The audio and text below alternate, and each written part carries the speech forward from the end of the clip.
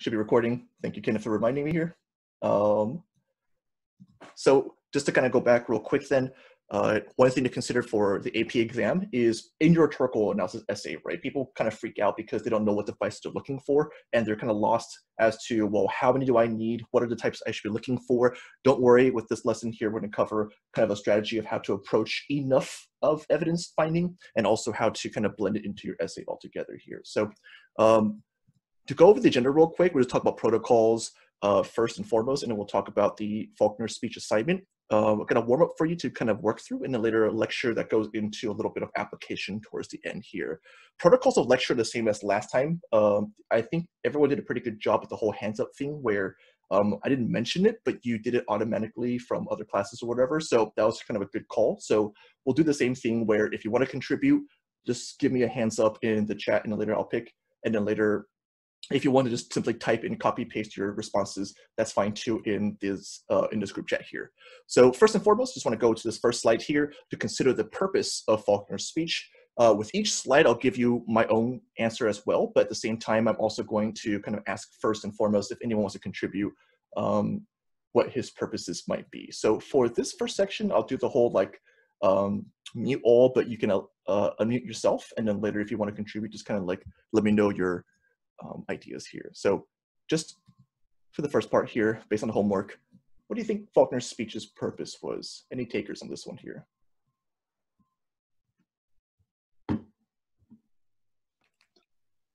It was to humbly accept a coveted award. Okay. I mean, it's true. It is to accept an award. I didn't want you to say that because you know it's kind of the situation, right? So, but yeah. I mean, I like the diction here where you mentioned that he humbly accepts an award. So, but on a more serious note, it's um, argue citizens are too absorbed in their own fears to go beyond their limits and succeed and spur them into action. I thought the point was that he didn't want to accept it because he knew that the younger generation is going to have a harder time getting to where he is achieving that mm-hmm. so in this case he's pushing that generation for greatness or i feel like he was trying to say that with all like the new advances and stuff it's harder for the newer upcoming generation to dig deep and um, actually feel these emotions. And he's encouraging them to feel being scared and all of these other things in order to become like a good writer and to achieve what he's getting. And he no, knows absolutely. it's going to be harder for them.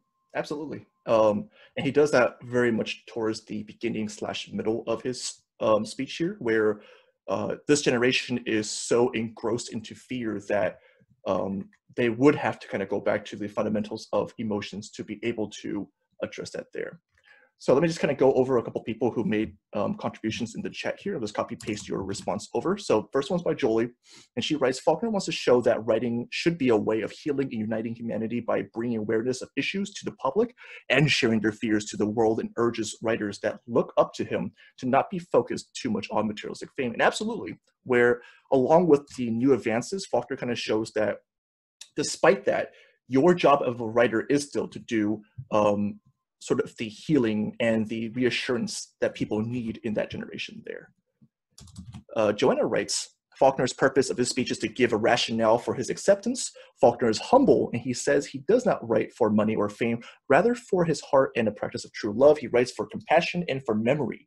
He states that for every good writer, they help others prevail and endure with writing. Absolutely. So in this case, it's very optimistic. It's very much where he accepts this award not maybe just for like the monetary gains or fame but it's more so of like it almost it almost shows that good writing and good intentions will prevail and then from ivy we get to urge writers to write not for the sake of receiving recognition or rewards, but to do it out of their love for writing and spending compassion during the post-war time. And for sure, that it really is sort of um, a contradiction almost to the occasion, because despite the fact that uh, he is coveted as a writer and he deserves an award and everything, he's kind of saying like, hey, don't do uh, your work in purpose for receiving a, a, one award whatever, but more so of like helping the world around you. Um, Jaron here, I'm just copy paste again. He writes, I think his purpose to unveil the beauty behind not only writing, but anything if you put your heart into it. rather than doing shit for the fame and money. And I think he's absolutely right in terms of unfailing beauty, right? Because uh, it seems like a lot of authors in his time period are writing out of fear or ugliness, but the reality is a writer should be more about exposing beauty and exposing the goodness in humans rather than just um, that ugliness around them there, because that ugliness is reactionary rather than insight.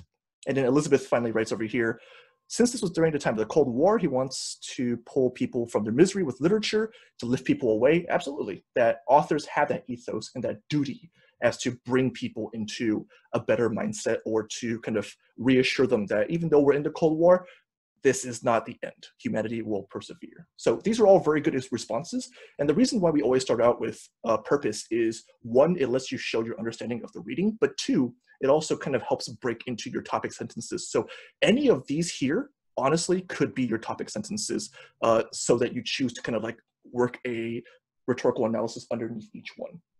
Anybody else for uh, a contribution here, either verbally or just copy and paste? And Jaren, it's okay if you cuss. Well, uh, okay, disclaimer, don't don't curse on the AP exam. Um, when you write it. Don't be like, so Faulkner's receiving this fucking speech, or he's giving this fucking speech, and he's talking about the shit that happened. You know, like that. Let's let's hold back on that. Let's let's make sure we don't do that. All right, let's move to the next section then, since it seems like we have a good foundation over here. Uh, so these are some of the possible answers that I came, and I kept them really short and concise because uh, I don't want to overcomplicate because you don't really have to overcomplicate for your uh, purposes observed. So one is just to address the current issues of the time, two, to argue the purpose slash duty of an author, which many people have mentioned, and three, to inspire the next generation of people, which really is everything that we discussed in the previous slide. So if you got one or all of these, then you're on the right track for the reading here. So once you have that down, boom, those are your topic sentences. Next step here.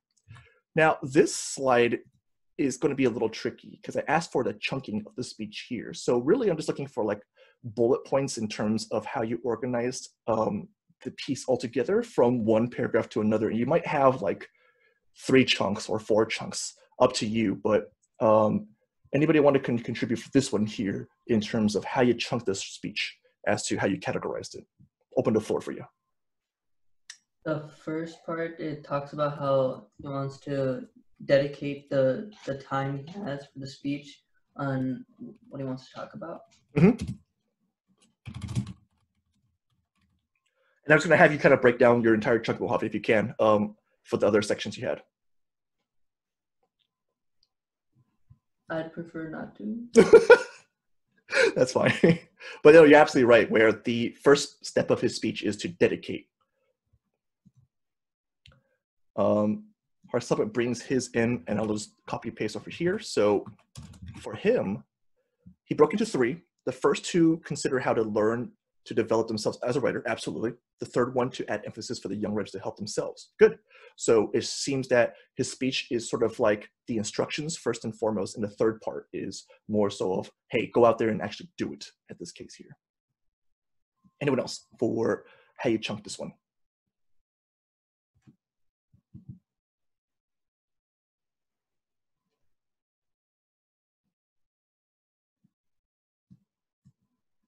And this is the hard one to um ask for and dedicate just because it's like weird to put on paper but i'll open the floor for a few more seconds if anyone wants to type or to copy paste.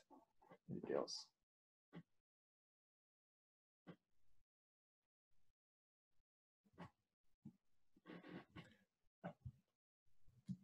Oh, oh rj go ahead.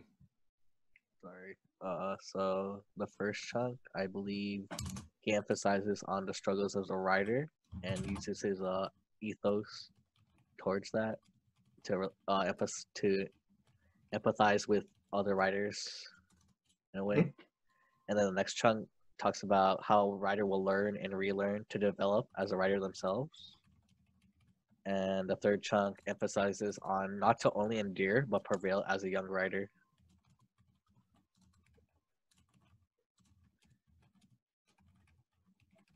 Absolutely. And with chunking like this, the entire purpose of chunking is to kind of like address the speech or the essay or whatever that you are given, so you can kind of like work through it piece by piece, right? Just in your head, you know exactly what you've read and also how to contextualize it for the rest of your essay altogether. So you can refer back to how the entire thing is organized and just think about um, structure from author's point of view.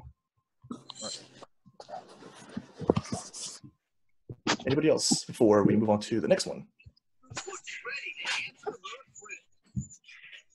Shayla, are you contributing or? So much sound. No, sorry. That's all right. Okay, so this is how I chunked it. And again, however you do it is entirely up to you. So in the first chunk, I noticed that he describes the purpose of a war, such as the one he's won. Um, he explains the world that people are living in and how writers today are writing without the right intention in mind. And then lastly, he offers hope and inspiration that man, as RJ mentioned, will not simply endure due to the spirit of writing. And if you have something like that, where you've broken it down in your own way, then you have the entire structure of the reading ready to use for your essay altogether. Next section is going to be a little bit tricky as well, where I asked for some devices in his speech. So uh, this is the part where I'm just going to ask for one example of a device. And again, you can copy and paste it if you like, but if you want to just contribute uh, one device that you saw in his speech altogether, go ahead and do so. So open the floor real quick for uh, devices that he used in his speech that you observed. I'm going to go for this one.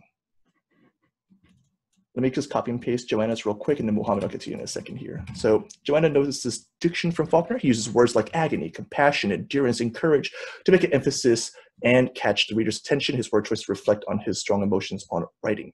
And Joanna's absolutely correct where she's looking at not just one word. For diction, you always want to make sure you have like a series of multiple choices in the author's um, repertoire to analyze furthermore. So for Joanna's that um, she's contributed, I would even further push you to kind of like think about the word choices that he does individually, because you're absolutely right where he's making emphasis to the reader's attention. But you also want to consider like why these particular words in the context of the situation, all that there. So there's another step to this, but otherwise you're absolutely correct in choosing these words here. Mohammed, go ahead. I'd also say uh, Kairos because this is during a time of the Cold War and when people are scared of being killed by bombs. It's kind of straightforward. I, I you're absolutely right. Um, and uh, also, uh, uh, he also did like a question where it's like, when will I be blown up? Like the fears of the writers. Mm. And I will also like attribute that a little bit where um, it's also sort of like rhetorical questioning, right? When will we be blown up, essentially?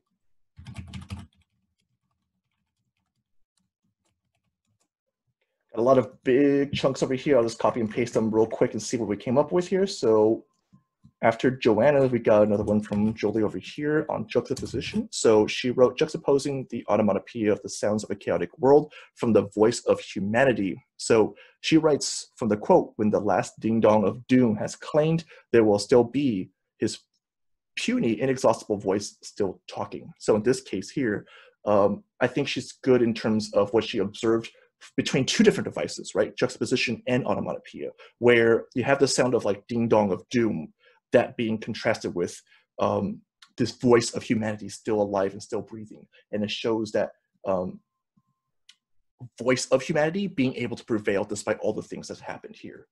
From Kimberly, she writes, boom, boom, listing in polysyndeton, universal truths, love and honor and pity and pride and compassion and sacrifice, good, these metaphysical objects represent the goodness a human being could have that they may not realize during a time of panic and fear. Absolutely. And it's through this big list that Faulkner kind of gives to his reader that they think, you know what, it's true that we all have these things um, in this list here that no bomb can ever extinguish ultimately here. Um, I see Brandon having a hand up. I'll get to you after I copy this big ass chunk over here by Andre.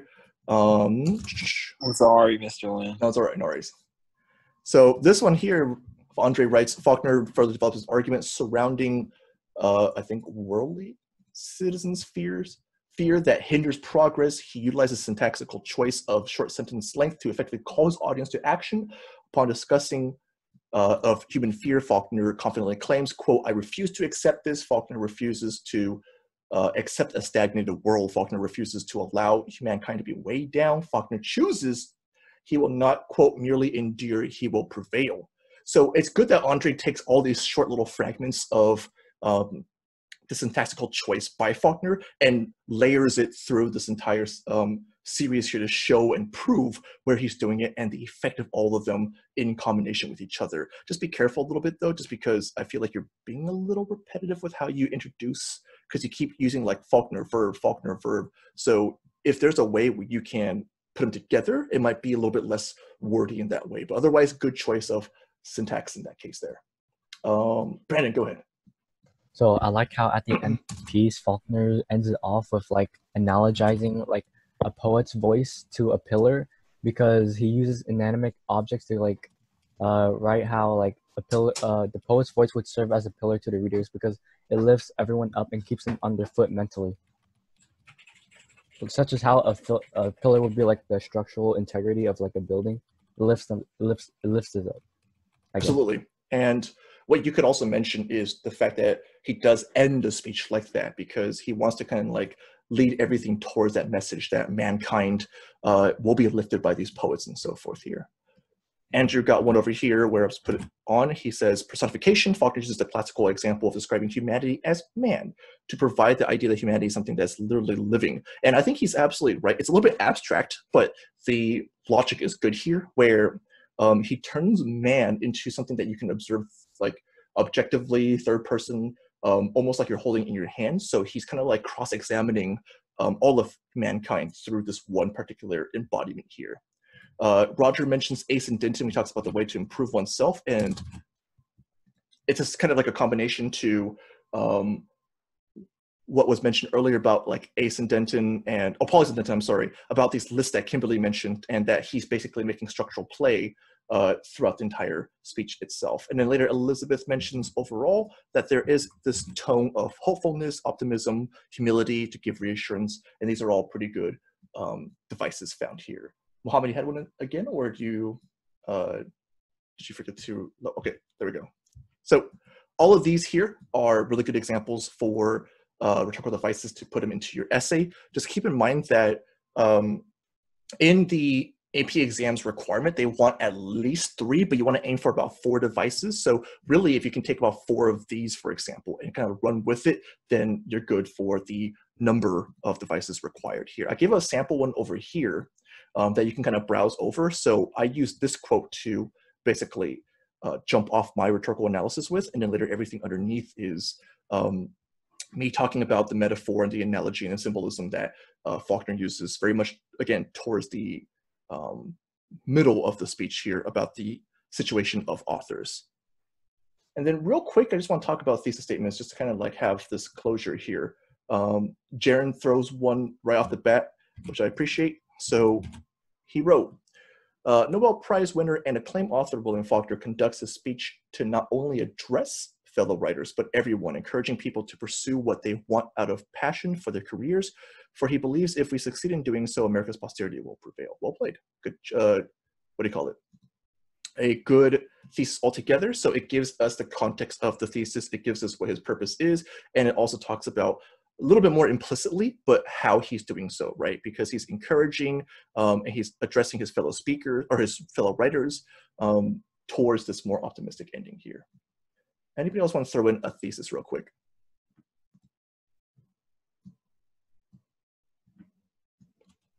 Quinn throws one out real quick here, so I'll copy paste that one.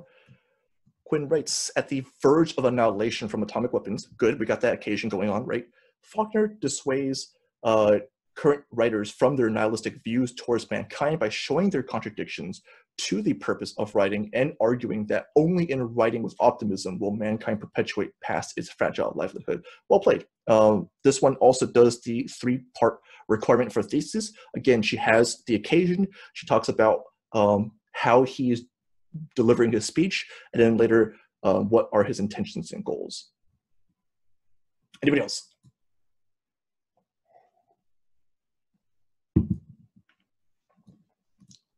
That one from Andrew. Copy pasted here as well. After accepting his Nobel Prize in the midst of the Cold War, with occasion, William Faulkner, an American author, discusses one of the pillars of humanity, arts and literature, and how his fellow authors and artists must understand the heart of individuals to continue humanity. Well said. Very concise, too. Um, I think the only disclaimer that you might want to take out is just this part where it's William Faulkner um, an American author because assumingly a little bit earlier in your intro, you might have mentioned that already. So it might be a little bit redundant to just add his title there, but otherwise very clear thesis altogether. Any last ones want to go for a thesis? Going once, going twice. Sold.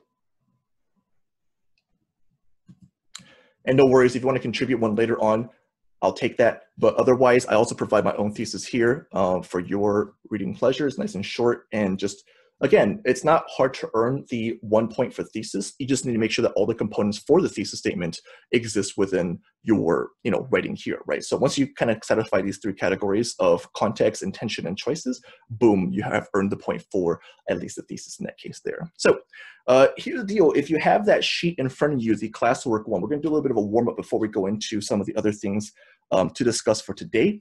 So the very first section of the warm up, I'm going to have you consider this uh, prompt, these two steps as you do these next two paintings for observation and so forth here. So for each of the selected paintings, analyze them for the following elements. I want to ask you, number one, just on your own sort of inference making and so forth, what do you think is the author's intended message? And then number two, what elements of the image led you to believe that? So you got to back up your claim, right? You got to claim what the painting's um, message is overall, but also what sort of contributes to your understanding of that image there. So you can combine one and two together for like a singular response, but otherwise, I'm just going to ask you for one and two in that order there. So the first one is La Clairvoyance. I'm going to give you a good two minutes or so to analyze this one. I'll mute myself and then we'll see what you came up with for this one here.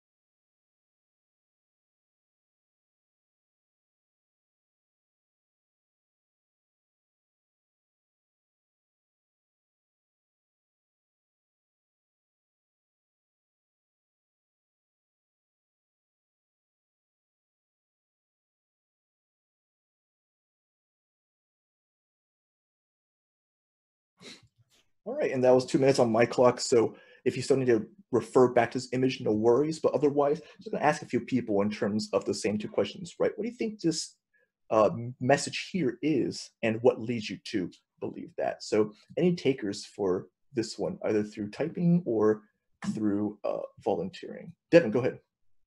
Um, what I wrote was we should not look at things for what they are, but look at what they can become, shown by how an egg could have turned to this bird or will be.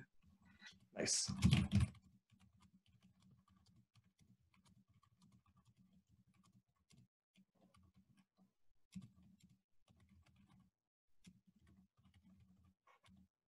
So, um, Shayla writes, what many can, oh, I'll copy that paste real quick. What many can see as something very small and little can actually be something greater than that. He visualizes the egg as something it could be in the future and lets his imagination fall for himself and goals in the future.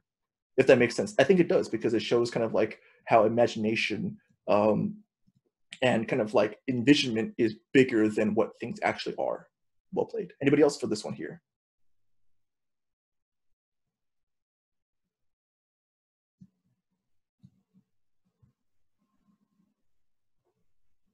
Other interpretations. Life is merely a piece of art. That's a little broad, but I'll put that there, I guess. I mean, you might need to explain that a little bit more, but Muhammad writes over here, the artist conveys a message of inner beauty and takes a look beyond the simple egg producing image of a complex and intricate bird. Well played, because it's kind of like what is supposedly in there and will become the bird eventually. So in this case, it's a story of like inner beauty versus outer looks. And then Kenny writes, one sec. Life can be perceived as it is with what is given, but imagination and depth of understanding can contribute to what something could become. The title of clairvoyance meaning the power to see the future, well played. So in this case, is the power, right, to be able to see in the future. And then Quinn writes, provokes that man can distort reality in his views. This is shown as the artist is painting a bird while examining an egg still life, an approach that grounds reality slash realism. Yeah, absolutely. Where a lot of things is all about perspective, it's all about point of view. So despite reality being in front of you, you can perceive it as something else. Nathan writes, a true artist focuses on what something will become, not as not what is currently in front of them. Yeah, absolutely. And what Nathan writes here concisely kind of talks about the reading I gave you for Faulkner, where the duty of an author is to see the future rather than to see what is currently um, present before you, because it's easy to just replicate, but it's hard to envision. Hartsuck mentions Future holds more than you can ever know. now you're confined, but later you will be free. Probably not physically, but mentally. Absolutely. So it seems a little bit more abstract or metaphorical in that case. So in this case, we are all in this egg for now, but later on we could break through from it. Kimberly writes, boom. We expect too much from the little things that may not become true since paintings can be unrealistic. Yeah, that's actually a really um, abstract view from this particular piece here where you see something and you expect and demand a lot but the problem is that you've sort of like overcomplicated it or you made it into something that's not ever going to be the case. Uh, evan gives sort of a dark view i'm sorry of he wanted a bird but he got an egg so just kind of like sour grapes at this point. I'll take two more real quick ending with melly so as the artist depicted in the painting draws a bird whilst looking at an egg, one could determine that the message is that people are quick to draw conclusions and see results rather than stay in the present. Of course, the egg is shown as an egg, but in the human mind, we see it as much more. Yeah, absolutely. So Hugh actually kind of offers um, an opposite perspective, very similar to uh, Kimberly, where we have all these sort of ambitions and looking into the future. But the problem is perhaps we're not dealing with reality for what it is right now. And so in this case, the human mind is deceiving. And Nemeli ends this with part of creativity is to communicate what you see. In this case, seeing something and communicating what it could be might not even be an egg of that kind of bird. Absolutely. So in this case, uh, language or art or whatever is all a part of just communicating your point of view. So despite it being a little bit off, perhaps, it still is just the way that you're trying to convey to other people here. Well played. Good responses. So we'll do one more real quickly here. Um, same process, right? I'm going to ask you for, again, what do you think the purpose or the message is of this painting, but also what leads you to that particular finding here. So last one is Christina's world. And I'll give you another two minutes to figure this one out.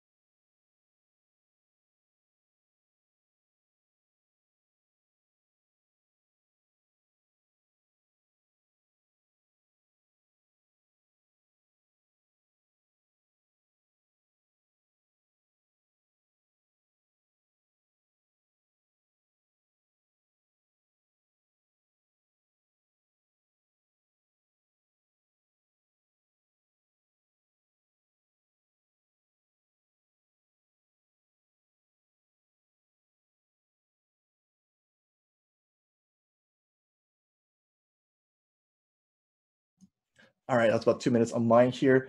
Uh, Shayla throws in one where I'll start off our conversation with.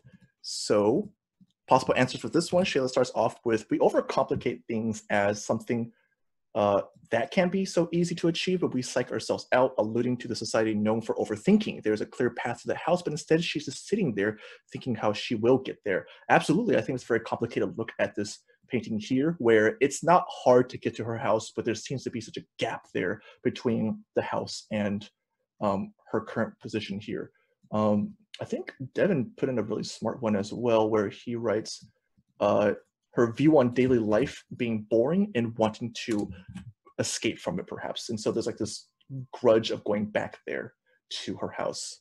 Anybody else for this one here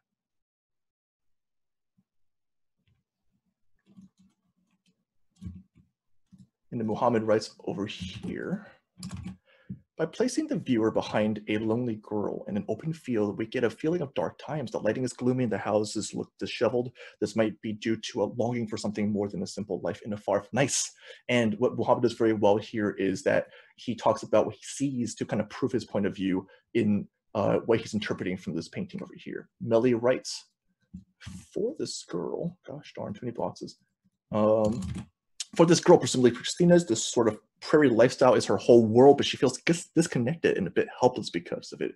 And I think it talks a lot about the other examples we saw earlier, where despite this being her world, she seems um, not engaged or there's this kind of like emptiness in here. Brendan adds in trapped in a void. Yeah, absolutely, where it seems like that is her view of this situation here. AJ further on adds, sometimes goals are within our grasp, but when we stumble and fall along the way, it's up to you to either get up and continue or to stay down and never reach your destination. Sure, a little bit more declarative in terms of the circumstance here. And it seems to be that uh, this is maybe a story talking about people who kind of fall along the side. Jaren writes, home is not necessarily a place. For instance, home can be people. Sure. So for her, the home in front of her is perhaps not the place she wants to be because she doesn't find it to be home in that case. Kimberly adds in, the world is dreary and has left the people behind. It could be a take on modernism in which farmers are disregarded in times of advanced technology. So it's a little bit of Grapes of Wrath review here, absolutely. So in this case, um, it shows a sort of uh, disconnect and disregarding being done from the rest of society here.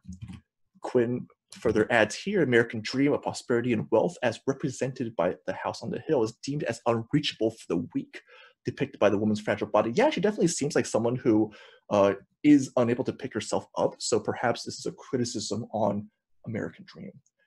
Andrew further adds, boom, life is simple. And for everyone, there is something that complicates life. It's never as simple as it seems, as the woman seems to be drawn towards the house, but something is holding her back as she seemingly reaches out to it. I think he's absolutely right here. He's noticing the body language of this um, painted character where despite the begrudging to go forward, she's also reaching forward for whatever it is.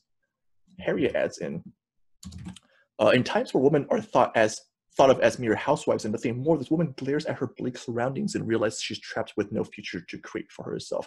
Yeah, and this is a really good like feminist perspective on the situation here, where it seems like uh, if she goes home, all it is is just another life of servitude once more. Oops, oh, too many. Um, Nathan adds, people will lie on the open and wish for shelter, but when they're given the opportunity to, they don't pursue it out of fear. She's staring at the house and lying there, but she may not want to get up and enter it, not knowing what may lay inside. That's a good point, right? It's kind of like, what do you get out of your protection? It's kind of um, unclear as to what may be the reality here. I like how Evan, right? She's not practicing social distance. I mean, she is, yeah. This is the ultimate form of social distancing. Six feet and more. Um, let me get a few more because I do want to move on, but these are some really good answers here. Kenny writes, there's a sort of conclusion whether the girl wants to head back home or run away from the house. Yeah, it, or confusion rather. Um, it's really hard to interpret in terms of where her thought process is and how she actually wants to approach the situation altogether. Um, let me see if we can get somebody who I haven't uh, gotten a response for as much. I got most everybody here, so I'm just kind of go down the line for one more. Then uh, I'll throw another one from Mark Suckman over here, where he writes, "It's difficult to move forward to something better, uh, as the path may seem simple, but restrictions like being able to get up leading to discouragement. Yeah, so it's kind of like life is simple, but it's not easy. The house is going to get demolished by Grapes You got some bleak views on the situation here. Um, I'll, I'll kind of give you the answer for this one actually, because there is an answer to um, this painting here. So the artist of this painting knew somebody in real life who had um, disabilities to uh, simply walk and operate on a daily basis. So he wanted to paint the painting from Christina's perspective of house might be pretty close to you, but because of these disabilities and so forth, it's such a struggle and trial to get up and um, approach the things in the distance here. So it's trying to provide its perspective as someone who suffers from physical um, handicaps and that uh, we have to see from their perspective that it might just be a regular walk home, but it's super difficult to um, actually do it for people in these circumstances here. So here's the actual lecture part um, after I talk about this. What you just did is basically rhetorical analysis, right? All you did basically was talk about the desired purpose and how they what the hell, accomplish it. So as long as you do this, uh, you are always going to be okay for rhetorical analysis. You are never going to basically uh,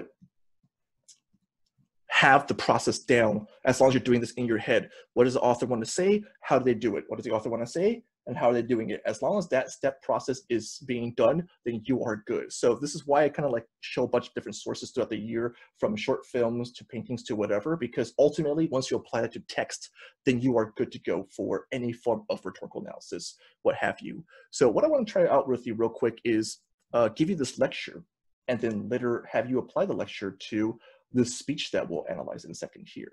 So some people are tricked out as to what to look for when you're doing rhetorical analysis. Because again, it's like how many devices should I look for? What type of devices am I looking for? How do I earn sophistication, evidence, whatever? And if you want sort of a nice cheat code to add into your task of writing the essay two for AP exam, uh, four things to consider. Every rhetorical analysis basically boils down to these four categories. Every author is going to have their own persona, their ethos that they're portraying for you. Every author is writing in their own stylistics. Every author throws in a little bit of figurative language, and every every author is trying to consider their audience and what strategies they use to persuade the audience. Here, to go a little bit more specific, so as you're considering the speaker's persona, you're thinking about the author's tone. You're thinking about the voice you're speaking through. You're thinking about the word choices and references the author makes. You're thinking about the point of view the author is giving from this topic and the relevance of that point of view, right? So in one category, in one paragraph, you can talk specifically on author's persona, speaker's persona, whatever ethos they have there. You can also dedicate a paragraph to the stylistics of the writing uh, that the author has done. So syntactical delivery, how the author uh, organizes that chronology, that chunking that we did, the transitions they do, but also the writing choices that the author relies on. So that's what style is basically. Style is all about the trends and the tropes and the motifs that the author relies on throughout the entire essay altogether. You can look at the figurative language that the author's doing, so things like imagery, for example, the depiction of key scenes, whatever the sort of descriptions the author relies on for making their point, or the abstract, the symbolic, the paradoxical stuff that the author puts out there for us to consider. Like the painting, the first one that we saw, the egg and the bird, authors will sometimes put things like that where it has this kind of um, try to infer what the meaning is. So another paragraph on that as well. And then lastly, every author considers their audience, right? Who is listening actively? Who is going to perhaps concede or refute or whatever, or even to entertain the audience, or what the author does to ref- directly refer um, in terms of the audience here, speaking in second person or just you know mentioning a particular group of people, right? So if you're writing an essay and you're doing rhetorical analysis, stuck, you don't know what to do, you're looking for these four categories basically. And if you dedicate at least a single paragraph for each one and find the examples underneath it, uh, in a time crunch, then you've fulfilled all the needs for the evidence section. And you know, by looking at all the different fields the author has, you can also earn sophistication as well. So it's not super complicated. Uh, my sort of task for you is just being able to like figure this part out, just kind of having this down as a general exercise in memory, so that when you do any reading, you're looking for okay who's this author what are their methods what sort of abstract stuff are they putting down, and who is the intended audience. Boom, there is your rhetorical analysis paper. If you can structure it between the paragraphs, even better. But otherwise, that's all you need for rhetorical analysis. So as a final thing for today, what I wanted to try out with you all is can you now apply this to a speech, an actual, you know, document or an actual writing piece that you might see on the AP exam. So this is a speech by Malcolm X, and it's titled, I Charge the White Man. And you should have that in your document um, as the second reading, I believe, or the second section. So you can follow along. The video that I'm going to show you doesn't really have any like particular key scenes. It helps a little bit, but otherwise it's just the voice of Denzel Washington speaking um, this particular speech here. So it's not super long. I'm going to uh, transition real quick. Yes, it starts with brothers and sisters, absolutely. So let me just make sure that we're in the right part. Here we go. Okay, and I'll mute myself for this section here, and hopefully the audio is, um, you know, workable here. Let me mute myself.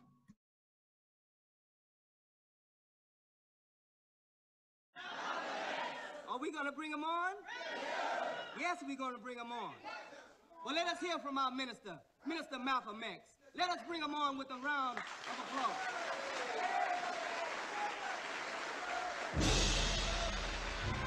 Brothers and sisters, I'm here to tell you that I charge the white man. I charge the white man with being the greatest murderer on earth.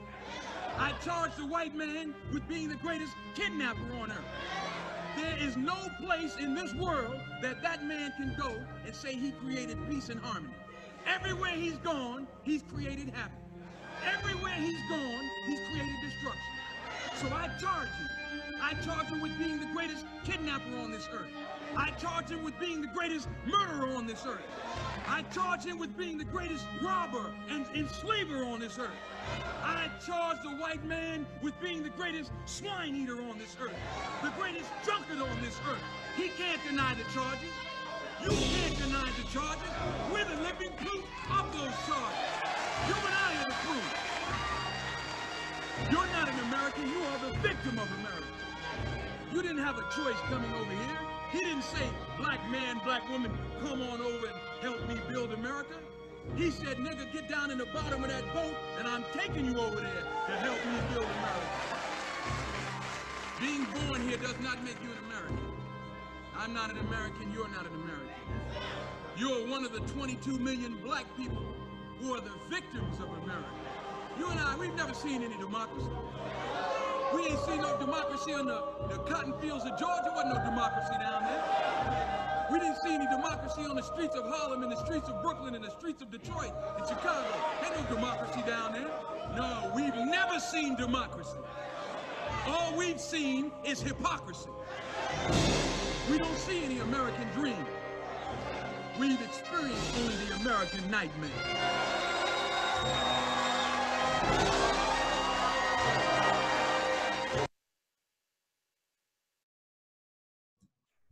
All right, so that was uh, the opening f- clip for Malcolm X, the movie here, but it's also a speech that Malcolm X actually did give to his audiences altogether here. So uh, for our next part, I'm going to have you consider that chart that I went over with you real quick over here. Speaker's persona, stylistics, figurative language, audience strategies, and I'm going to see if you can at least find one per category from the speech here um, in front of you an example of like his persona, an example of his stylistics, an example of his figurative language that he might be using, but also uh, an example of how he's addressing his audience either directly or indirectly. It's a little bit longer of a piece here, so I'll give you about like three, four minutes to kind of process this, and we'll kind of end our lecture based on this particular uh, example here. So I'll mute my mic real quick, and later about three, four minutes, I'll come back to you.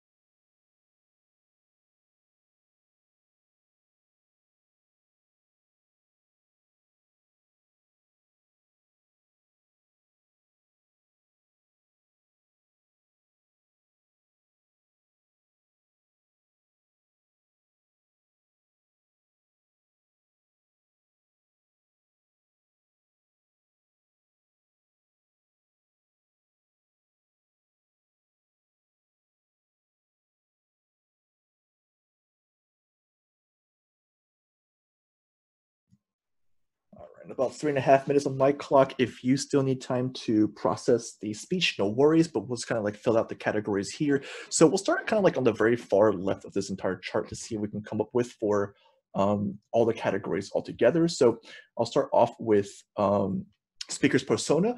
And again, you can type or you can contribute through the raising hand function up to you, but we'll just kind of compile a group of things that uh, the author basically adds into his s or his speech altogether. So open the floor for anybody who wants to contribute first.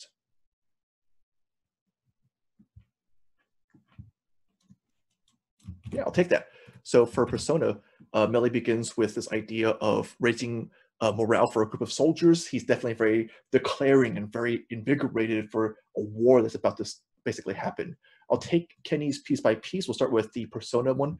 Um, from his, he mentions invective, bold and strong voices show urgency and call to actions. Yeah, he uses a lot of strong language here. I think I saw earlier in the um, chat here that Hugh mentions the invective of like the N word, for example. And it's almost like this bitter irony where um, they know they've been called that, where people think them as that their entire lives, but it isn't until like someone finally says, hey, that's what they think of us, that the audience finally kind of realizes the urgency or the sort of um, bad times they're stuck in altogether here. Uh, Roger mentions that he wants to, he sounds like he wants uh, revenge, and I think you're absolutely right. So a lot of this speech sounds like he wants to get back at this white community that has wronged them or wronged the entire world in general. And just a little fun historical fact, um, Malcolm X actually believed in separate but equal. Like he actually believed that uh, if there was a world of only whites and blacks separate, that would work because the truth is races don't know how to work with each other. So for his view, we should have split from the very beginning. So that's kind of his argument altogether. Andre, uh, for figurative, I'll put that there for now. Uh, and I'll get back to you when we get to that figurative part here. Harriet gives us for persona. Whoa, a little bit too too big of a text here. Let me see if I can make it a little smaller.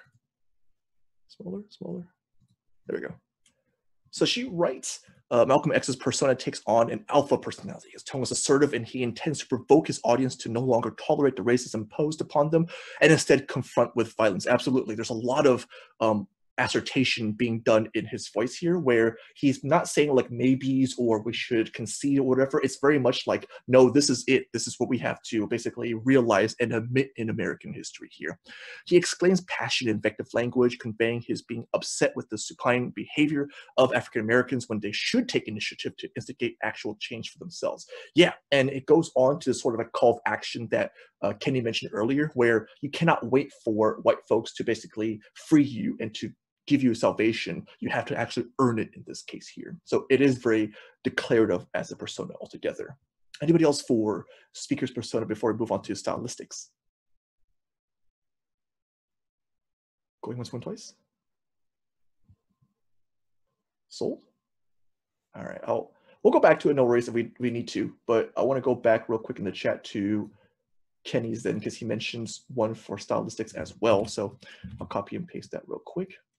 So for stylistics, Kenny starts us off with, he delivers his speech with shorter sentences to show more emphasis, juxtapositions everywhere. Absolutely, this guy does a lot of like short outbursts, but also a lot of like contrasting ideas between um, various images or uh, between different uh, choices of words. For example, he juxtaposes like hypocrisy with democracy in that case. So he does a lot of like, this is what you think it is. This is where we actually are.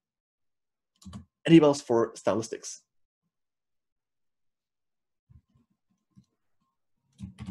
So Melly writes, others white people into a singular entity the way the white community has done to the black community, I think is intentional because he doesn't really give any leeways to um, good white folks, for example, that they all have basically wronged African Americans, just like how all white people see African Americans as lower class or as the other.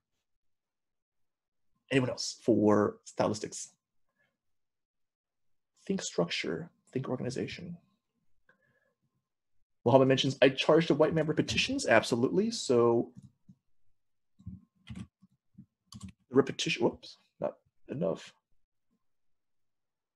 Gonna copy this real quick here. So, repetition of "I charged a white man" is followed by everything that's happened to African Americans in the history of America. So, not even just the repetition of that line, but it's always sort of anaphora, this following of things that have been done to African Americans in this time period here.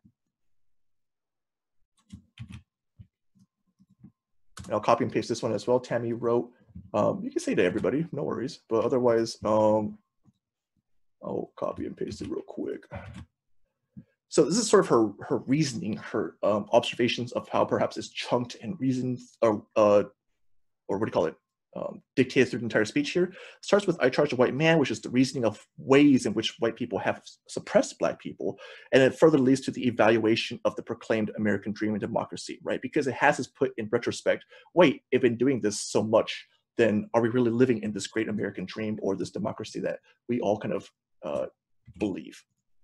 Zoran adds in repetition of greatest blank to stress how much wrong white people have done to uh, Africans. And it's funny because it's uh, oxymorons, right? It's greatest something negative, greatest something negative. So in this case, it's repetition met with the oxymorons along with it here.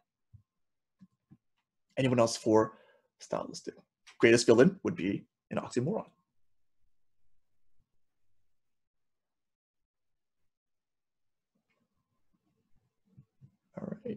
If not, we'll move on to our third category here, fictive language. And again, I'll just add in Kenny's that he put on earlier underneath. I believe this is Andre's um, that he put on here. So for figurative, at the end, he mentions American Nightmare, which is a wordplay on the American Dream. Yeah, so it's like a double entendre, right?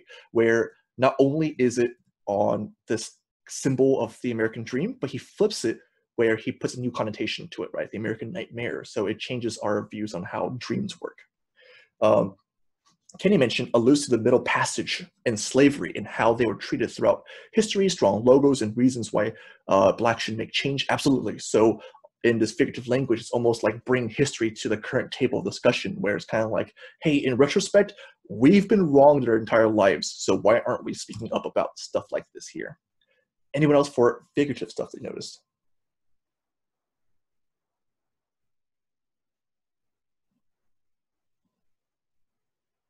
Tone of solidarity? Absolutely.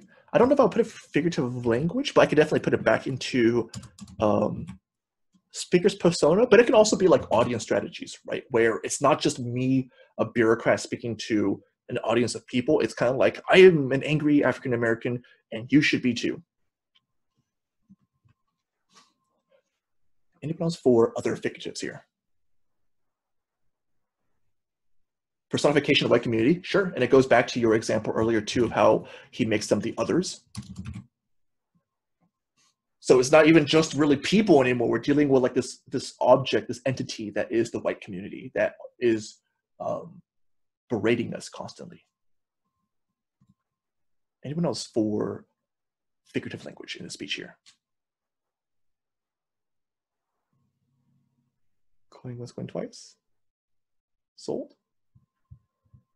All right, no worries. We'll go back to it if we need to. Uh, whoa, whoa, whoa, whoa, suddenly, suddenly. Okay. Um. Oh, that's right. Sheila reposted this one here. Um, this is something that she said earlier as well, where she writes, um, to enrage his audience who have experienced all this. It's been evident for a while, but only now are blacks wanting to do something to fight for their rights. Hmm, figurative language, maybe not. I would take this actually, and I'd probably put it more of like audience strategies, right? Because um, stating the obvious, obvious is something that's like it's only obvious to African Americans, not obvious perhaps to white people, but for the African American community, it's kind of like, yeah, he's right. We have been wrong for a long time. And he's like, yeah, now let's do something about it. And then Kimberly gives another one here. Um, very similar to what I think Kenny wrote earlier, the cotton fields of Georgia, this allusion to slavery, right? Before transitioning to cities where there still is no democracy. Really great point where, you know, you think that after leaving the fields of Georgia, you would have more freedoms and rights and everything, but you don't. You're stuck in the same jungle, basically, of um, racism. Any last persons before we move to the last section here? Going once, one, twice. Sold? Sold. All right, we'll go back if we need to. So last section then, we'll look at audience strategies. And I think Jolie throws one out real quick here. Copy paste that, boom, boom, boom. Audience is mostly his fellow African Americans. He uses the second point of view, you and we, to exemplify that, that to truly achieve civil rights, all African Americans should avoid being idle and must participate and unite together to protest. You need a hard solution? Absolutely. That a lot of this speech deals with the idea that you cannot simply sit and watch. It's you and we and all of us here to kind of fit together. And I think Kenny also has that similar one in his uh, multi-step answer there, where it's the inclusiveness and togetherness that um, is required from African Americans altogether. Anybody else from this one?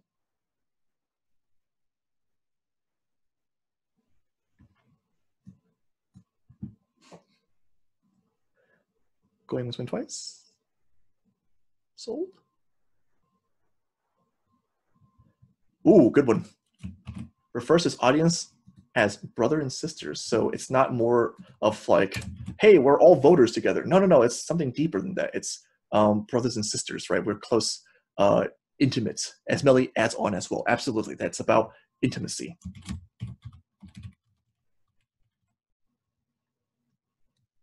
Pretty good list.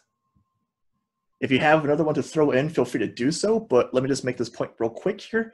Uh, these four categories with all these examples that you have here, if you pick and choose maybe like one or two per section, elaborate a little bit more, find found some examples from the text to, um, you know, uh, further prove your point, then you basically have a full rhetorical analysis essay here.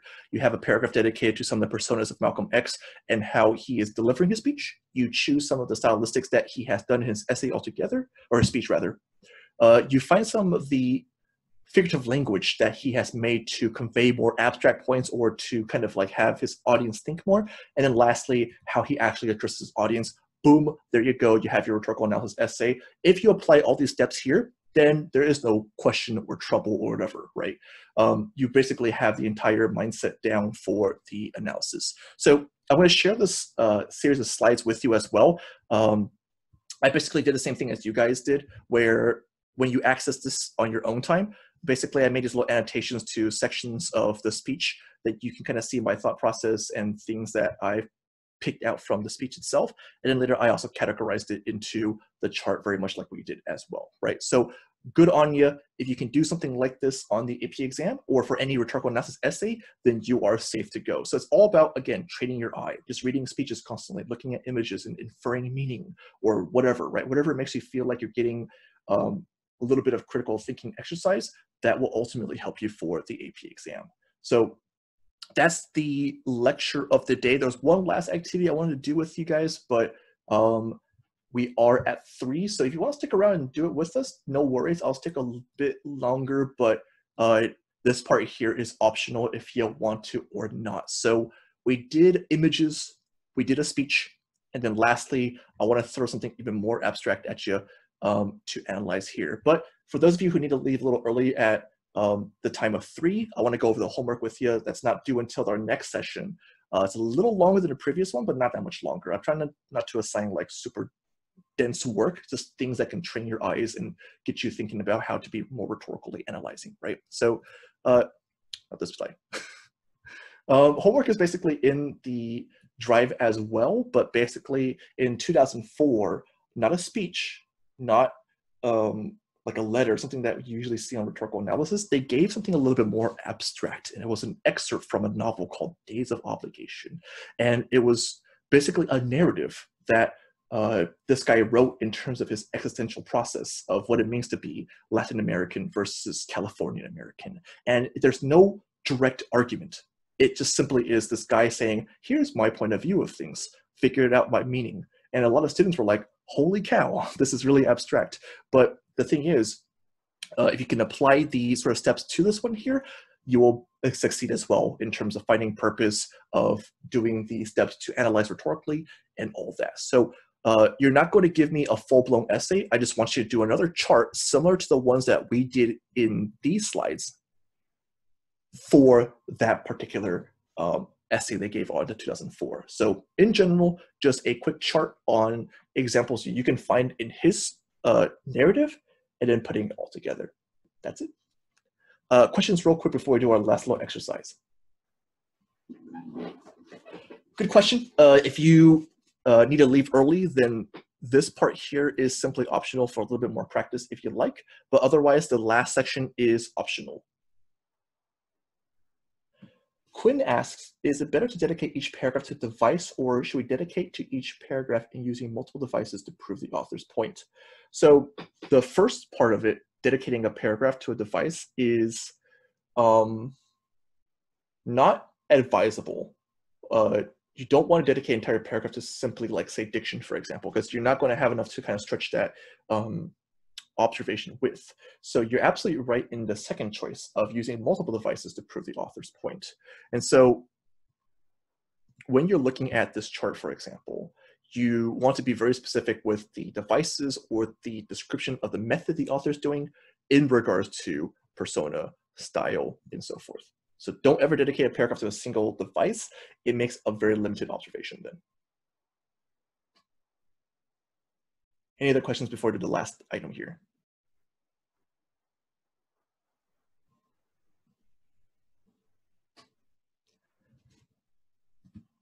All right, if not, we'll just do this last reading here. This is a, a funky story that um, has a meaning to it, but I want to see if you can infer the meaning here. Um, can we hit the 70 subscriber goal by the end of the month? I don't know, go. Doesn't matter to me. um, anyways, for uh, the last activity here to kind of work through, uh, basically there's this short story called Sticks. And uh, it's the last reading in your classwork sheet. Super short, I think it's like two paragraphs uh, tops. But all I want you to try your hand at is the same thing we did with the paintings uh, that we did earlier, but now in text form. What was the author's message for the story? And what led you to that conclusion? What makes you think that that was the meaning of it? So it's kind of like the paintings where it's like you see this image, what do you think was the author's message or purpose, whatever, but what led you to think that in the case there? So if you don't know what he means by the stick that um, the father is using, I've given an image over here to kind of like consider altogether. So with this last activity, I'll give you a good three or four minutes to read first, and then later I'll see what you guys come up with in this one here. I'll mute myself real quick.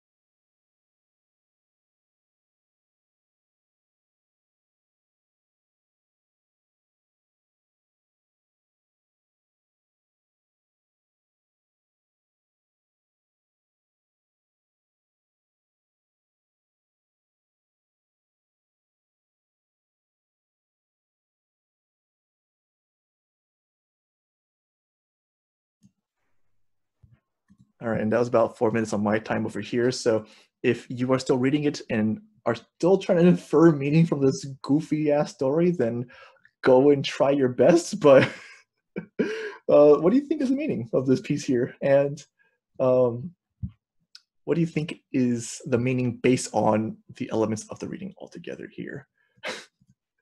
Let me see. Let me see who wants who is brave enough to throw in a, a, a crazy theory here. Stick fetish.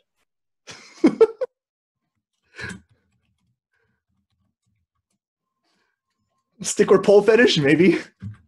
We get a little bit of persona from the uh, from the the father. His wife was a pole dancer, so it's like honoring her. Let me see what Hearthstone I wrote. He wrote. I'm gonna copy paste real quick. All ideas are just creativity on on out of control, with ideas just being exited based on convenience. I'm not sure if I got this part right. Out of control.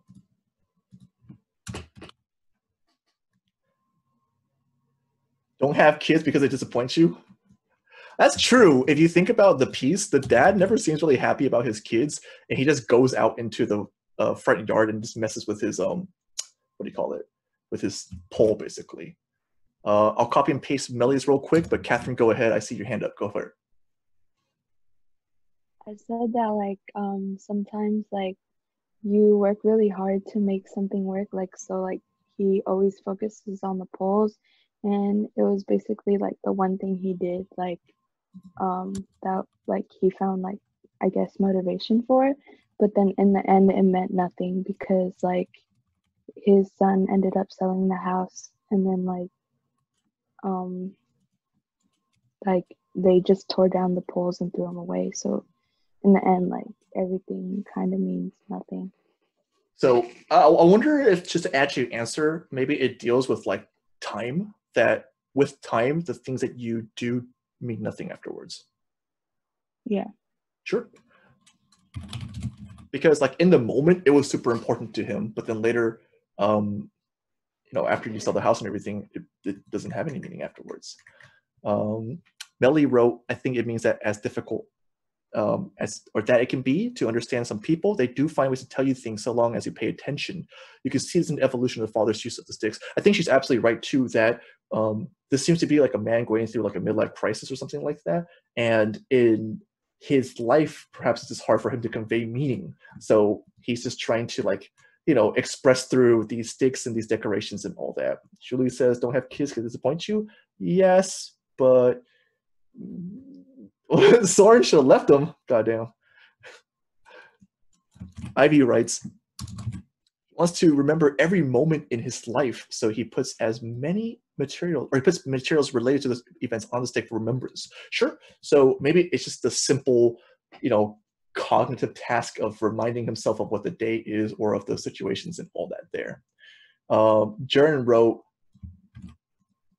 see what we got here uh, he's portraying his love for the holidays and other things through his pole fetish. Maybe so similar to what Melly was saying earlier about like it's hard for him to express his emotions. This is the way that he does um, his method here. Kenny asks, "How did he die? It, was a, it felt like a suicide." I don't think it's explicitly how he dies. I mean, you could, but it's it's not uh, explicit as to how he actually does. Um, Andrew adds on here things that we value as humans can differ from person to person. There are some things that are universally valued, like money, but in this case, the pole was a valuable item to the father. It provided a seemingly mental relief, allowing him to cope with things. And uh, when he had kids, he worked on it for his children to celebrate holidays. Yeah, I think this is a really uh, great analysis in terms of what subjectivity is all about, because ultimately, what is important to you, it could differ from other people, especially things that aren't like um, universally agreed upon, right? And Harsama is absolutely correct too, where it could be useless overnight as well, the concept of money, but uh, for the time being, we all agree on it, right? Uh, Nathan adds, you can make something and be proud, but don't obsess over one success. Uh, if you stay in one place forever, you'll be seen as insane. Everything is temporary and it's better to keep moving on and creating new things that will last. I think he's absolutely right too, where um, the father never really expands past his pole even though he keeps changing it up, he never really um, leaves the house, for example. So it seems like he's stuck in place despite telling him otherwise. Um, Jolie gives us sort of a dark answer. we put a lot of effort in that are me that we put a lot of effort that is meaningless. Um, in the end, I think she's absolutely right here too, where um, for a lot of the things that we add effort into, uh, with time, it it loses meaning. Um, Hugh puts our life can be traced through objects. And in the end, we are nothing but objects. Another dark kind of view on this here, where the father's trying to express his humanity through these objects, but pointless altogether here. Um, forgive Muhammad making allusions here. Um, Paul is in the shape of crucifix, crucifix, ah, crucifix, yes. Andre mentions here in general argue that different people have different ways of coping with things and different people value different things. Yeah, absolutely. It's the whole idea of subjectivity, right? That there's no defined whoops answer to it all. And then Quinn mentions trying to find meaning in life that is surrounded by the phony nature of mere objects. Yeah, absolutely. Where we think that objects have like sentimentality and stuff like that, but ultimately this object can be easily thrown away in a second without ever considering you as a human. So we put a lot of investment into objects, despite the fact it's never going to like return anything back to you. Um, think about it. We're still talking about the father because he had a pole. Your ideas prevail your time here. Sure, I think that's a good insight as well. That ideas will last longer than people or objects. That it's all about um, existence through thought. Father's a boomer? Probably. Probably. Any last persons before I give you the answer for this? There's actually an answer for this. Uh, can I say my answer, Mr. Lin? Yeah, go ahead, go ahead. So I think this is the so we like fathers show their love very differently, and so this is the way the dad shows his emotion to the kids and how he might act strict to them, but he puts love and forgive because he truly does love his kids, and hoping his kids will forgive him or something. And I think they actually understood what he said because they it says right here we'd stop by and find stuff after his uh, the death of their mom. so I think they understood what he was trying to do for them. And Devin does a really good job emphasizing on like the two uh the two words that the author provides where he writes um love and forgive because it seems like the father's trying to express his feelings towards um, his kids, but indirectly, or he just couldn't have the he didn't have the courage to say it. Perhaps Mohammed, go ahead. I think this is one big troll, and we're just trying to do rhetorical analysis on something that. uh, yes and no. It's not a big troll, but it is sort of a, a troll. Oh, interesting. So for Zoran, he mentions it's a crucifix. It represents Jesus and his um, resurrection, or his crucifixion and resurrection. And he does place his mom's belongings on the crucifix. So perhaps he's saying like he wishes she's back. And show it does show like the sort of um, internal grief that a man would have, but he can't show perhaps because of like masculinity or just he couldn't um, uh, I don't know find the right words. Humans can pull something out of nothing. True. By gardening Angel? Angle. Careful. That's the answer.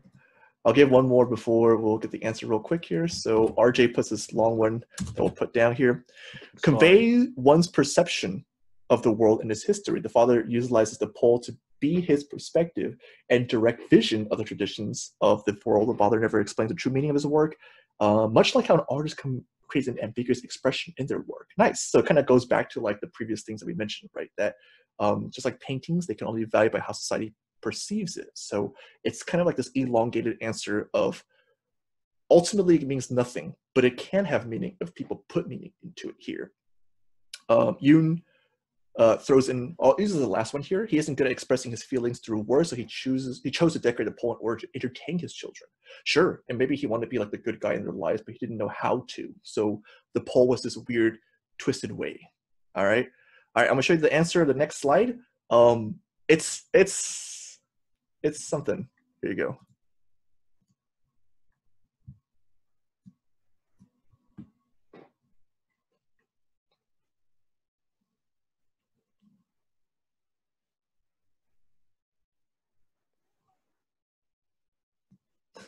Wait, I don't get it. So basically, this is based on a true story. For two years, he's driving by someone who was doing this pole thing, right? And he's looking at this guy. He's thinking like, look at this fucker. He's probably happy with his life, and he probably has more confidence in everything because he's doing something like this. And so, seeing this guy for two years, George Saunders is basically like, you know what? I'm going to make an alternative version of you where your life sucks.